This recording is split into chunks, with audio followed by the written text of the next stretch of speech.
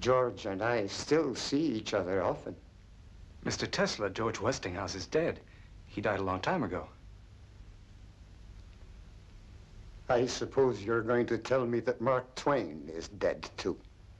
He's been dead for over 30 years, Mr. Tesla. It's 1943, you know. Well, you see, I was speaking to him just yesterday. Uh, your youth team, school kids coming through, reserve team, staff who can cope with that, good coaches. You know, it's not just about a football team, and that's what I believe in.